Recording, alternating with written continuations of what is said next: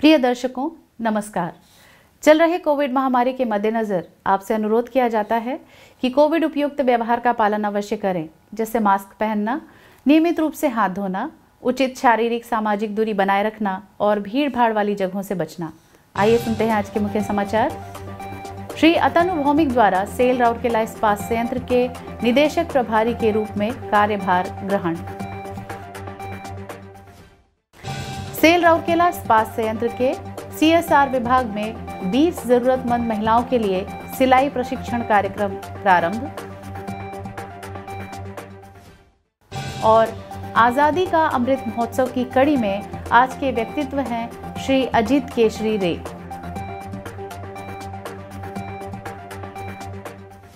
अब समाचार विस्तार से।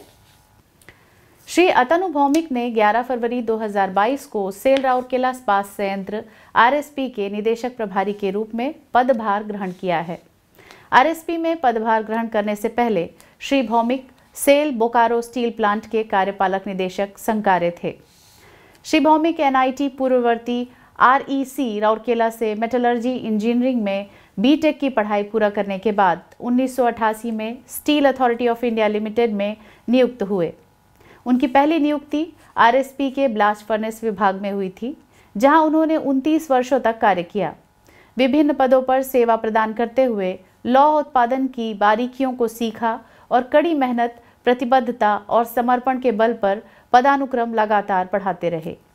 उन्हें वर्ष 2016 में महाप्रबंधक, जिसे बाद में मुख्य महाप्रबंधक के रूप में नामित किया गया, के पद पर पदोन्नत किया गया। इसके बाद दिसंबर 2018 में श्री भौमिक ने सेवा क्षेत्र का कार्यभार संभाला और उसके बाद मई 2019 में उन्हें आरएसपी की परियोजनाओं का प्रमुख बनाया गया।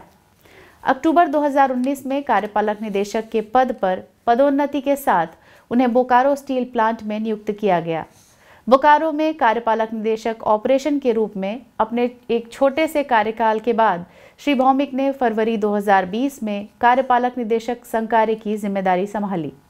अपने समृद्ध अनुभव और विशेषज्ञता के साथ श्री भौमिक ने बोकारो में एक सांस्कृतिक परिवर्तन की शुरुआत की, जिससे अधिक सामंजस्यपूर्ण कार्य वातावरण, मज़बूत परिचालन अनुशासन के साथ साथ उच्च उत्पादन, उत्पादकता और लाभप्रदता हुई। उल्लेखनीय है कि दूसरी पीढ़ी के स्टील मैन श्री अतनु भौमिक, स्वर्गीय श्री बीबी भौमिक के सुपुत्र हैं। जो वर्ष उन्नीस में आरएसपी के सामग्री प्रबंधन विभाग से सेवानिवृत्त हुए थे। राउरकेला में जन्मे और पले बढ़े श्री भौमिक ने इंजीनियरिंग में डिग्री हासिल करने से पहले राउरकेला के सेंट पॉल स्कूल से स्कूली शिक्षा ग्रहण की और राउरकेला सरकारी महाविद्यालय से इंटरमीडिएट की पढ़ाई पूरी की। आरएसपी की बागडोर संभालने के बाद श्री भौमिक ने राउरकेला लौटने पर, जिसे वे हमेशा अपना घर मानते रहे हैं, अपार प्रसन्नता व्यक्त की है। राउरकेला हमेशा मेरे दिल के बहुत करीब रहा है, क्योंकि मैंने अपना बचपन, प्रारंभिक वर्ष और साथ ही अपने सेवा काल के पहले 31 वर्ष यहाँ बिताए हैं। उन्होंने राउरकेला कर्मी समूह को एक संदेश में कहा, यह भगवान जगन्नाथ का आशीर्वाद है कि मुझे एक बार फिर इस भूमि और इस इस्पात संयंत्र की सेवा करने का अवसर दिया गया है।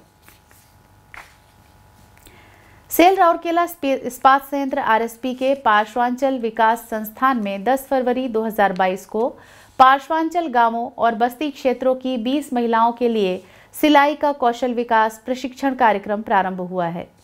कार्यक्रम का आयोजन आरएसपी के सीएसआर विभाग द्वारा भुवनेश्वर स्थित गैर सरकारी संस्था ग्राम उत्थान और ऊषा के सहयोग से किया जा रहा है।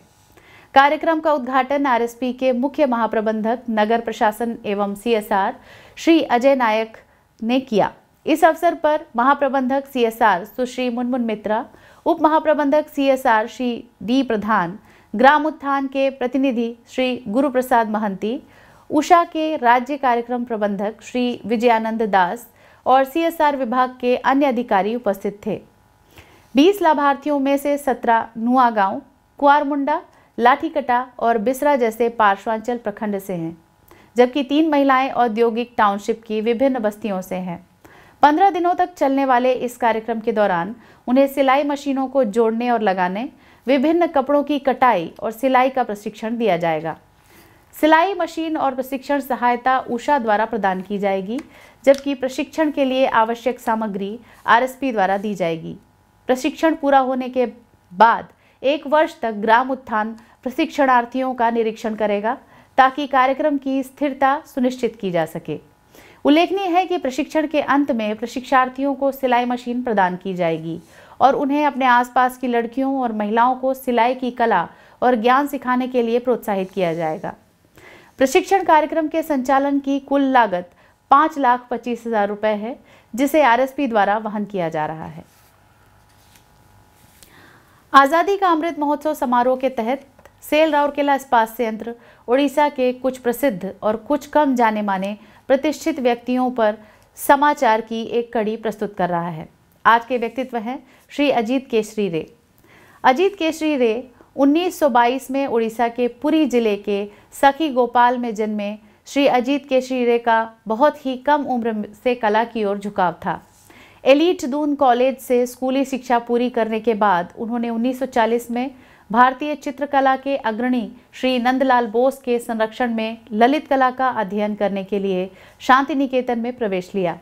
उन्नीस सौ इक्यावन में लंदन में एंग्लो फ्रेंच आर्ट सेंटर में लकड़ी की नक्काशी और ग्राफिक कला में विशेषज्ञता हासिल करने के बाद वह government college of arts and crafts Khallikot में पेंटिंग में लेक्चरर के रूप में शामिल हुए। और इसके प्रिंसिपल के रूप में सेवानिवृत्त हुए। उन्होंने अपने समकालीनों के साथ ओडिशियन चित्रकला में आधुनिकता की शुरुआत की। उन्हें अपने काम द फ़्लाइट के लिए, आधुनिक पेंटिंग के लिए पहला ललित कला अकेडमी पुरस्कार मिला।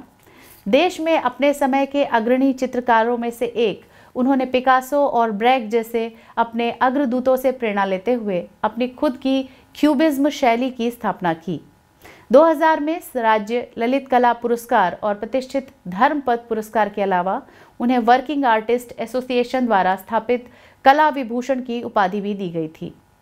उनकी आत्मकथा पोर्ट्रेट ऑफ़ अ पेंटर कला और शिल्प के क्षेत्र में एक उत्कृष्ट कृति मानी जाती है। समय की रेत पर अपने अमिट पद चिन्हों को पीछे छोड़ते हुए 11 अक्टूबर 2012 को उनका निधन हो गया। आज के हिंदी समाचारों में इतना ही। नमस्कार।